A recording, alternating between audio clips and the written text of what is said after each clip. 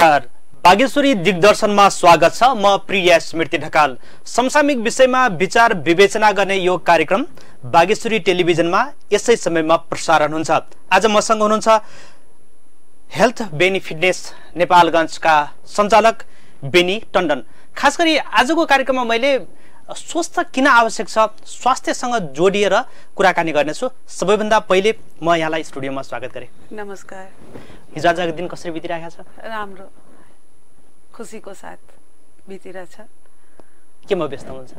म आजभोलि फिटनेसमा आफ्नो सेन्टरमा धेरै व्यस्त हुनुहुन्छ।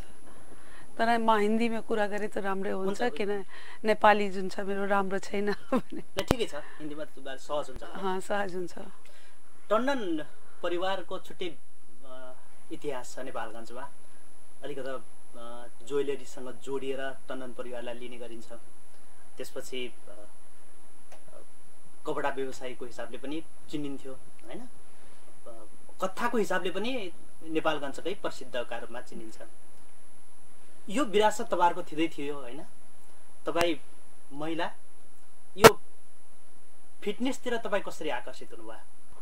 इसलिए बचपन से मैंने हॉकी खेला। फिट रहना अच्छा लगता था इस वजह से मैंने ऐसा विचार बनाया कि मुझे खुद एक फैट- फिटनेस सेंटर खोलना चाहिए। इसलिए मैंने ये फिटनेस सेंटर खोला। और इससे बहुत बहुत लोगों को लाभ भी हो रहा है। हमारे यहाँ जो लोग आते हैं बहुतों को weight loss sugar thyroid obesity के कारण लड़कियाँ जो होती हैं उनको पीसीओडी की प्रॉब्लम हो जाती है। उसको भी मैंने सॉल्व किया है। एक वर्ष अहिले खोलिँदा एक साल हुआ है। कसरी यो जस्तो यहाँले चाहिँ खुसी हुने कुराहरू गर्नुभयो होइन? त्यो सानैदेखिको सोख भन्नुभयो होइन? तर अहिले आएर मात्रै यो खोल्नुभयो होइन? त्यसको पछाडिको केही कारण छ अथवा केही प्रेरणा? बताया मैंने ना कि मुझे मतलब फिट रहना खुद को अच्छा लगता था। इस कारण से मैंने फिटनेस सेंटर खोला। और खुशी की बात तो ये है कि अगर हम फिट रहेंगे तो सब काम भी अच्छे से कर पाएँगे। घर का काम, बाहर का काम, अगर पुरुष है तो वो भी अपने ऑफ़िस का काम, जितना वो फिट होगा, उतना ही ज़्यादा काम कर पाएगा। रोज बीमार होने के कारण का अपने ऑफ़िस का काम अच्छे से कर पाएगा। तो फिट रहना तो हमेशा अच्छी चीज़ है ना। आदमी को फिट रहना चाहिए।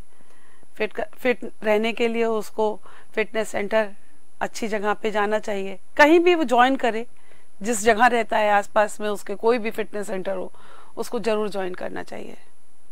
फिटनेस सेन्टरमा कति समय बिताउनुहुन्छ अहिले तपाईँ पाँच बजे सुबह से नौ बजे तक सुबह का चार बजे से रात को नौ बजे तक का। टाइम वहीं पे मेरा बीतता है और सबकी मदद करना सबकी हेल्प करना मुझे अच्छा लगता है। बाँकी समय? बाकी समय घर परिवार बचा हुआ समय अपनी दुकान पर। नेपालगञ्जमा मात्रै लगभग आठ दसवटा त्यस्ता फिटनेस सेन्टरहरू छन् होइन बेनी फिटनेस सेन्टर के फरक छ बेनी फिटनेस सबसे पहला तो मैंने इसमें हाइजीन का इतना अच्छा प्रोविज़न रखा है कि आपको घुस, घुसते ही एक अच्छा माहौल दिखाई देगा, साफ़ सुथरा। वॉशरूम अच्छे हैं, साफ़ सुथरे हैं। और हाइजीन तो फिटनेस का एक भाई बहन का नाता है। हाइजीन और फिटनेस का, भाई बहन का नाता है। अगर वहाँ हाइजीन नहीं हो अच्छा होगा। तो और दूसरों की बीमारियाँ आपको लग सकती हैं। तो ये ध्यान में रखते हुए प्रतिदिन की सफ़ाई, डेली डस्टिंग कराना, डेली जो हमारी बेंचेस हैं, उनको पुछवाना, ये मुझे परम कर्तव्य लगता है अपना। इस कारण से जो है वो सबसे अलग है मेरा। और पूरा एयर कंडीशन है। इस कारण भी जो है वो आप वर्कआउट ज़्यादा कर पाएँगे। वहाँ पर गर्म नहीं होता है। नेपालगंज का मौसम बहुत गर्म होने लगा है। तो थोड़ा सा मौसम अच्छा रहता है अंदर तो लोगों को एक्सरसाइज करने में काफ़ी मदद मिलती है। सामान्यतया यस्ता फिटनेस सेन्टरहरू बडी फिलरकै लागि हो भनेर चाहिँ सोचिरहेका हुन्छन् होइन? त्यही त्यही नै महत्त्व दिइरहेका हुन्छन्। तपाईँको फिटनेसमा त्यसकै खुसी पनि छ त्यहाँ चाहिँ स्वस्थ हुने तौर तरिका पनि छ। हाँ। अरूभन्दा के छ त्यहाँ? फिटनेस अ, सेंटर में हमारे जुम्बा क्लासेस होते हैं एरोबिक क्लासेस होते हैं बॉक्सिंग क्लासेस होते हैं। स्पिनिंग क्लासेस होते हैं। क्रॉसफिट के क्लासेस होते हैं। ये सुबह तीन क्लास होते हैं शाम को तीन क्लास होते हैं। उसके अलावा जो आ, वेट्स के क्लास अलग हैं। कार्डियो सेक्शन अलग है। कार्डियो में हमारे पास बहुत अच्छी मशीनें हैं।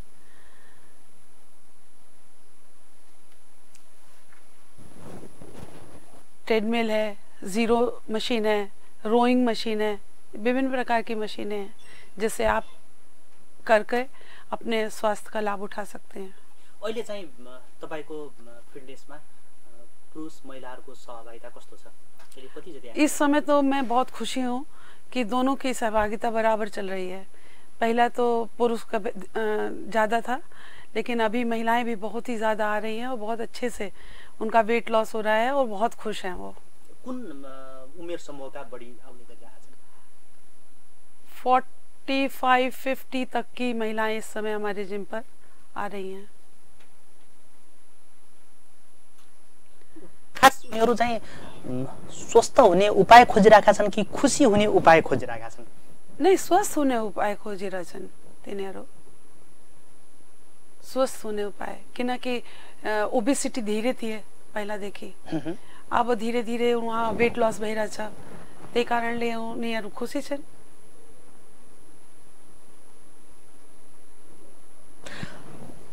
महिलाहरूको म, सहभागिता बढ्यो भन्नु पनि। पछिल्लो अवस्थामा त्यसो भए महिलाहरू पनि आफ्नो स्वास्थ्यको बारेमा सचेत बन्न थाल्या हुन् अलिकति चासो राख्न थाल्या हुन्। हाँ पहिलादेखि त अब धेरै उहाँको अ, विचार फरक भइरहेछ। पहला तो घर में खाना बनाना खाना सोना ये था। अब वो बाहर निकल के अपने लिए स्वस्थ रहने के लिए टाइम दे रही है और स्वस्थ रह होती भी हैं तो उन्हें खुशी महसूस होती है। बहुत से लोग जो इस प्रकार से जिनको शुगर का प्रॉब्लम था थायराइड का प्रॉब्लम था अब काफ़ी उनको आराम है तो काफ़ी खुश भी रहती हैं।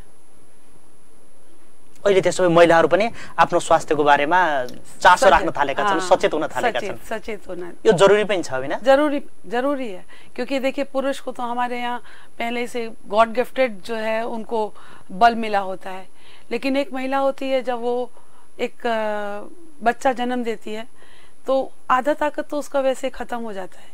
उस ताकत को दोबारा लाने के लिए, उसको एनर्जी लाने के लिए, उसको तो ज़रूर प्रयास करना चाहिए। और जैसे जैसे उम्र बढ़ती है, अगर हम उसको बिल्कुल छोड़ देते हैं तो धीरे धीरे हम, हमारा शरीर जो है साथ देना छोड़ देता है और विभिन्न प्रकार के रोग लगना शुरू हो जाते हैं। तो इसलिए पहले से सचेत रहेंगे एक्सरसाइज करते रहेंगे तो अच्छा रहेगा, उनका स्वास्थ्य अच्छा रहेगा। स्ट्रेंथ ज़्यादा रहेगी एनर्जी ज़्यादा रहेगी। छोड़ देंगे तो कहाँ रहेगी? त्यसो भए अहिले अविवाहित मात्रै होइन विवाहित महिलाहरू पनि। हाँ विवाहित महिलाएँ भी आ रही हैं हमारे यहाँ। बहुत सी महिलाएँ जो विवाहित हैं बच्चे हैं बच्चे लेकर भी आती हैं। उनके बच्चे जिम पर किनारे खेलते रहते हैं और वो करती हैं। इतना सचेत हो गई हैं महिलाएँ पहले के देखते हुए। तपाईँले सुरुमा खोल्ने बेलामा कति गाह्रो थियो र क- अहिले कति चाहिँ सहज भइरहेको छ? सहज तो अभी भी नहीं है। प्रॉब्लम्स तो बहुत आती हैं लेकिन ठीक है प्रॉब्लम से लड़ना हमारा काम है। उन प्रॉब्लम्स को हम खुद भी सॉल्व करते हैं। अहिलेसम्म यो एक वर्षको दौडान भने तपाईँले यो फिटनेस सञ्चालन गरेको। यो म, एक वर्षको अवधिमा कस्ता खालका चाहिँ चुनौतीहरू आइरहेका छन्? विभिन्न प्रकार की चुनौती आती है। क्योंकि ये तो पुरुष वर्ग के तरफ़ का कार्य था और इसमें महिला कूदने के बाद जो है लोगों को थोड़ा सा ये महसूस हुआ कि ये कहाँ से क्यों? तो ठीक है उस चुनौती को मैंने स्वीकार किया और उस चुनौती को सहजता से आगे लेकर जा रहे हैं। एउटा स्वस्थ मान्छेले जीवन जिउनको लागि व्यायाम चाहिँ कति जरुरी छ कति महत्त्व देख्नुहुन्छ? व्यायाम तो इतना ज़रूरी है कि जितना मुझे खाना खाना और सांस लेना ज़रूरी है उतना ही व्यायाम करना ज़रूरी है। हमारे यहाँ बहुत सी एक्सरसाइज इस प्रकार की हैं जो एक तरीके से ये समझिए कि जो जानवर एक्सरसाइज करता है। अब आपने कभी देखा होगा कि बिल्ली जब बहुत ज़्यादा थक जाती है तो अपनी पीठ को ऐसे सिकुड़ती है।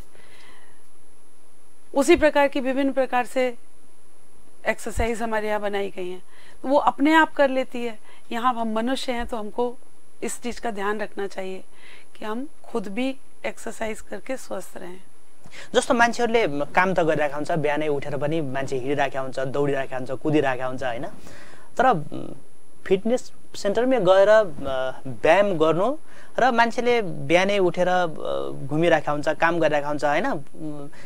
यो गर्नुमा खास यसले स्वस्थ रहनमा मद्दत गर्छ कि गर्दैन? के हुन्छ यसमा खास फरक? फिटनेस सेंटर में जाकर 45 मिनट्स अगर आपने back to back back to back back to back exercise की वो एक्सरसाइज होती है। अब आप अगर दो कदम चले बैठ गए फिर दो चल, कदम चले फिर बैठ गए फिर आप उठे आपने कोई काम किया फिर आप बैठ गए तो वो आपको स्ट्रेंथ और एनर्जी थोड़ी ना बढ़ा देगा।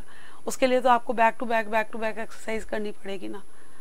इसलिए वहाँ पर जाना ज़रूरी होता है। वहाँ जाइए अथवा अपने घर पे करिए अथवा आप किसी फ़ील्ड में जाइए वहाँ जॉगिंग करिए रस्सी कूदिए। विभिन्न प्रकार की एक्सरसाइज है कोई ज़रूरी नहीं है कि आप फिटनेस सेंटर में ही जाइए। आपको जहाँ सहज लगता है जहाँ आपको अच्छा लगता है वहाँ व्यायाम करिए। व्यायाम करने के बहुत से स्थान होते हैं। आपका घर भी स्वयं होता है। अगर वहाँ पे आपको लगता है कि मैं अकेले नहीं कर सकता हूँ तो आप जाइए फिटनेस सेंटर पे करिए। अगर आपकी इच्छा शक्ति एकदम मज़बूत है दृढ़ता के साथ एक कमरे में आप अकेले कर सकते हैं तो आप अकेले करिए। लेकिन मॉब के बीच में वो कर रहा है मैं भी करूँ। देखकर एक स्पर्धा आती है। इसलिए लोग फिटनेस सेंटर पे जाना पसंद करते हैं। एक माहौल बना होता है मॉब होता है उसके बीच में। अब इन्डियामा चाहिँ भर्खरै भर्खरै मात्र पनि एउटा फिट इन्डिया अभियान नै सुरु गरेको छ होइन? कल से शुरू होगा। ध्यानचंद हॉकी के प्लेयर थे। उनका आ, कल कल के दिन में आ, फिट इंडिया प्रोग्राम शुरू होगा। यो यहाँ ज़रूरी छ कि छैन। यो अभियानकै रूपमा लान जरुरी हाँ, राष्ट्र को राष्ट्र के लिए और स्वयं के लिए। राष्ट्र को लागी और स्वयं को लागी। राष्ट्र को लागी स्वास्थ्य को लागी। अगर हम स्वस्थ रहेंगे तो राष्ट्र भी आगे बढ़ेगा। हम जितना स्वस्थ रहेंगे हम उतना काम कर सकते हैं। जितना हम स्वस्थ रहेंगे उतना ही तो हम काम कर सकते हैं। हम रोज़ अगर बीमार होंगे तो अपने ऑफ़िस नहीं जा पाएँगे। रोज़ अगर हम बीमार होंगे तो हम अपने व्यवसाय में नहीं जा पाएँगे। अगर मान लीजिए अगर हम कहीं जॉब करते हैं वहाँ नहीं जा पाएँगे। तो इसलिए स्वस्थ रहना तो ज़रूरी है। जितना स्वस्थ रहेगा देश उतना स्वस्थ रहेगा। खुशी चाहे शरीर स्वस्थ रहना। मोस्ट इंपॉर्टेंट है। बहुत इंपॉर्टेंट है। उसके लिए हम लोगों को एक अभियान छेड़ना चाहिए। इसके लिए तो जागरूक होना चाहिए। प्रति व्यक्ति एक दूसरे को प्रोत्साहित करना चाहिए। भाई नहीं, आप स्वस्थ रहिए। आप घर से निकलिए वॉक करने जाइए, घर से निकलिए आप फिटनेस सेंटर पे जाइए, घर से निकलिए योगा करने जाइए। विभिन्न प्रकार के जगह जगह प्रोग्राम्स चलते हैं। जहाँ आपको अच्छा लगे, जहाँ आपको खुशी लगे, जाइए। लेकिन कुछ करिए। स्वास्थ्य के लिए समय निकालना एकदम अति आवश्यक है। अघि यहाँले पनि भन्नुभयो नि जस्तो अहिले महिलाहरू पनि क्रमशः चाहिँ स्वास्थ्यप्रति चासो राख्न थाले अहिले फिटनेसमा पनि आउन थाले भन्नुभयो नि। तपाईँले सुरु गर्दाखेरि कति अप्ठ्यारो पर्यो र अहिले चाहिँ घर परिवारको सहयोग यसमा जरुरी हुँदो रहेछ रहन्छ? के हुँदो रहेछ? होइन? घर परिवार का सहयोग तो बहुत जरूरी है। अगर परिवार सहयोग नहीं देगा तो मैं बाहर निकल के काम कैसे कर पाऊंगी? इसलिए परिवार का सहयोग तो पूरा मुझे प्राप्त हुआ है। पूरा बहुत बड़ा परिवार है मेरा और सब बहुत खुश हैं कि मैं इस प्रकार का एक कार्य कर रही हूँ और सबका बहुत सहयोग मिलता है मुझे इसमें। अरू परिवार चाहिँ सबै अरू अरू व्यवसाय गर्दै आउनुभएको थियो होइन तपाईँले चाहिँ एकैपटक यो फिटनेस खोल्छु भन्दाखेरि अथवा म यसमा चाहिँ लाग्छु भन्दाखेरि कस्तो किसिमको प्रतिक्रिया थियो सुरुमा सब बहुत प्रोत्साहित किया सबने बहुत साथ दिया और परिवार बहुत बड़ा है मेरा मेरे परिवार में काफ़ी लोग हैं। सबने काफी सहयोग किया मुझे। जस्तो महिलाहरू यस्ता जुन चुनौतीपूर्ण हो नि त यो त होइन? एउटा तपाईँ त मलाई लाग्छ बाँकेमा नै नेपालमै पहिलो पटक महिलाले सञ्चालन गरेको फिटनेस पहिलो नै होला होइन? बाँकीबाट मात्र होइन समग्रबाट पनि तपाईँहरू प्रतिक्रिया आउँछ होला नि त। कस्तो किसिमको प्रतिक्रियाहरू आइरहेका छन् अहिले काठमाडौँ से काठमाडौँ से दो तीन मुझे फोन आए। कि आप महिला हो के फिटनेस सेंटर खोल रहे हैं बड़ी खुशी लगी और उन्होंने काफ़ी मुझे प्रोत्साहित किया। आ, उन्होंने मुझे ये कहा कि आप करिए हम आपको पूरा सहयोग करेंगे। इस प्रकार से नेपाल पूरे नेपाल की प्रतिक्रिया में मुझे काफ़ी सहयोग मिला और सबने यही कहा कि आप खोलिए जहाँ पे आवश्यकता होगी मैं आपके पीछे खड़ा हूँ। कतिपयले भन्छन् महिलाहरूले केही पनि गर्न सक्दैनन् होइन? चुनौती हुन्छ भन्छन् नि त महिलाहरूलाई त गाह्रो छ भन्छन्। लेकिन मुझे महिलाहरूले चाह्यो भने घर परिवारको सहयोग भयो भने सक्दो रहेछन् नि हाँ आराम से। अगर परिवार का सहयोग है समाज का सहयोग है सबका सहयोग है तो क्यों नहीं कर सकता है? क्यों नहीं आगे बढ़ सकता है? समाजमा कतिको सहयोग हुँदो रहेछ समाज को मुझे पूरा सहयोग मिला है। जो भी मेरे फिटनेस सेंटर पे आता है जो नहीं भी आता है वो हमेशा मेरी तारीफ़ करता है बोलता है आप आगे बढ़िए कोई प्रॉब्लम होगी तो मैं हूँ। मैं आपको सहयोग करूँगा। करते भी हैं लोग कहीं आवश्यकता पड़ती है। तो सहयोग करते हैं। समाज से पूरा सहयोग मिलता है मुझे। तपाईँको अबको योजना चाहिँ के छ त अब? यही फिटनेस सेन्टर मात्रै छ कि अरू चाहिँ केही योजनाहरू पनि छन् इसी फिटनेस सेंटर को आगे लेकर जाने की यही योजना है मेरे पास। इसमें विभिन्न प्रकार के और क्लासेस बढ़ाएँगे योगा के क्लासेस बढ़ाएँगे और बच्चों के लिए भी हमारा अवेयरनेस है। कुछ बच्चे आ रहे हैं बारह चौदह साल के बच्चे हैं बारह से चौदह साल के बीच के जिनको मैं स्वयं ही कराती हूँ। और पहले वो बिल्कुल नहीं कर पाते थे अब धीरे धीरे उनको काफ़ी इंटरेस्ट आने लगा है। मैं सोचती हूँ कि बच्चों के लिए भी मैं कुछ करूँगी। ये फिटनेस में? इसी फिटनेस में। तपाईँको परिवार पनि खेलकुदमय भएको कारणले गर्दाखेरि पनि तपाईँलाई अलिक सहज भयो होला हाँ, एकदम आराम से। होइन हाँ। तपाईँ स्वयं पनि खेलको हाँ। प्रति रुचि भएको हम्म, मेरा भी काफ़ी रुचि था खेल के बारे में। अरू परिवार पनि खेल हाँ मेरे परिवार से जो हमारे आगे की नेक्स्ट जनरेशन है उसमें बैडमिंटन खेलने वाले बच्चे हैं फुटबॉल खेलने वाले बच्चे हैं राष्ट्रीय स्तर पर खेलने वाला बैडमिंटन मेरा जे, जेठ का बेटा है रोहित टंडन वो बैडमिंटन का अच्छा प्लेयर है। यो खेलकुदले पनि काहीँ न काहीँ तपाईँलाई यो फिटनेस खोल्नुपर्छ अथवा यो चलाउनुपर्छ यो जरुरी छ भन्ने हाँ, तो- आवश्यकता जोडेको? तो खेल और फिटनेस का तो वही है भाई बहन का रिश्ता। जितना आप खेल में रुचि रखते हैं उतना फिट रहेंगे तभी तो आप खेल पाएँगे। जितने बड़े बड़े प्लेयर्स हैं वो सारे तो फिटनेस की ओर दौड़ते हैं ना। जिम जाएँगे रनिंग करेंगे तो फिट रहेंगे तभी तो खेल पाएंगे। खेल का और फिटनेस का तो भाई बहन का ही रिश्ता है। तपाईँ सन्तुष्ट हुनुहुन्छ यो फिटनेस आराम से। खुसी हुनुहुन्छ एकदम। छ नि तपाईँको फिटनेस सेन्टर छ होइन? घर परिवार छ होइन? व्यवसाय छ होइन? एउटा महिला हुनुहुन्छ कसरी मिलाउनु भएको छ अहिले? यसको म्यानेजमेन्ट कसरी भइरहेको छ? स्टेप बाय स्टेप अगर हम अपनी जिंदगी को रूल करके चलेंगे तो मिलाना कठिन नहीं होता है। अचानक से कोई काम कर लेना तो नहीं बनता है ना। उसके लिए सुबह उठना है इतने बजे इतने बजे सो जाना है जिसमें मुझे नेक्स्ट डे के लिए उठना है। तो रूटीन स्टेप बाय स्टेप बनाना पड़ता है। तपाईँ कति बजी उठ्नुहुन्छ दैनिक? म- साढे चार बजे। त्यसपछि के हुन्छ तपाईँको त्यसपछि फेरि नहा नहाएपछि पूजापाठ देन जिम पाँच बजेदेखि नौ बजेसम्म नौ बजे आए, फिर खुद का एक्सरसाइज साढे ग्यारह ग्यारह बजे तक। नौ बजेदेखि ग्यारह बजेसम्म मेरो एक्सर्साइज हुन्छ त्यसपछि फेरि घर। घरमा अलिकति काम गरेर खाए खानाना खा के, फेरि एक घन्टा आराम गर्ने फेरि पसल जाने, फेरि जिम जाने, राति नौ बजेसम्म यस्तो व्यस्तता रहन्छ भनेको तपाईँ भनेको दस बजेदेखि चार बजीसम्म साढे चार बजीसम्म सुत्नुहुन्छ होइन। हाँ, त्यसपछिबाट तपाईँ व्यस्त दिनभरि नै हाँ। लगभग लगभग व्यस्त व्यस्त भइन्छ। हाँ, भनेको कुनै पनि काम गर्नको लागि कार्ययोजना अथवा योजना चाहिँ योजना ज़रूरी है। वही तो मैंने कहा ना स्टेप बाय स्टेप अगर मेरी रूटीन फिक्स रहता है तो करना बड़ा आसान रहता है। अगर अचानक से उठना सो जाना देर में अगर सोएँगे तो देर में उठेंगे। तो डिसिप्लिन के साथ अगर हम करेंगे तो हमारा टाइम मैनेज हो जाता है। अगर हम उसको अ, कोई डिसिप्लिन नहीं रखेंगे बारह बजे सोएँगे तो मैं साढ़े चार कैसे उठ सकती हूँ? इसलिए मुझे दस बजे बत्ती बंद कर देना है सो जाना है। यति लगानी लगाएर तपाईँले फिटनेस सेन्टर खोल्नुभएको छ होइन मान्छेहरू स्वस्थ रहन् भन्नकै निम्ति यो काम निजी क्षेत्रबाट भयो। व्यक्ति एउटा होइन निजी क्षेत्रबाट भइरहेछ। यसमा राज्यले के गरिदियो हुन्थ्यो जस्तो लागिरहेको यो त राज्यको काम पनि त हो नि कहीँ न कहीँ होइन? सरकारको काम हो होइन? गभर्मेन्टले गर्नुपर्ने काम हो होइन? सभी काम सरकार नहीं कर सकती है ना? सरकार सुविधा उपलब्ध करा सकती है रोड अच्छी बना सकती है और विभिन्न प्रकार के कार्य कर सकती है लेकिन ये कार्य सब कार्य अगर सरकार करने लगेगी तो हम नागरिकों का क्या होगा? नागरिक लोगों को भी तो कर्तव्य होता है ना कि हम अपने लिए और देश के लिए कुछ करें।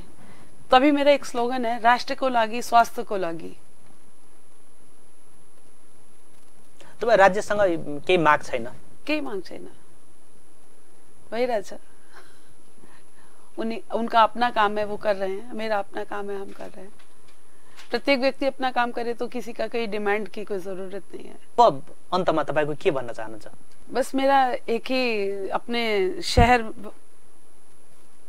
वासियों से निवेदन है कि प्रत्येक व्यक्ति अपने लिए कम से कम 45 मिनट का समय निकाले जहाँ उसको अच्छा लगे जैसे उसको अच्छा लगे लेकिन स्वयं के लिए 45 मिनट निकाले और चाहे वो योगा करे चाहे वो एक्सरसाइज करे चाहे वो वॉक करे चाहे वो साइकिल चलाए विभिन्न प्रकार से वो अपने को स्वस्थ रख सकता है। लेकिन स्वस्थ स्वास्थ्य के लिए 45 मिनट जरूर निकाले। हवस् टन्डनजी यो व्यस्त समय र महत्त्वपूर्ण विचारका लागि स्टुडियोसम्म आइदिनु भयो यहाँलाई धेरै धेरै धन्यवाद। थैंक यू धन्यवाद। उहाँ हुनुहुन्थ्यो हेल्थ बेनी फिटनेस नेपालगञ्जका सञ्चालक विनी टन्डन। मेरो सम्पूर्ण टिमलाई बिदा दिनुहोस्। नमस्कार। you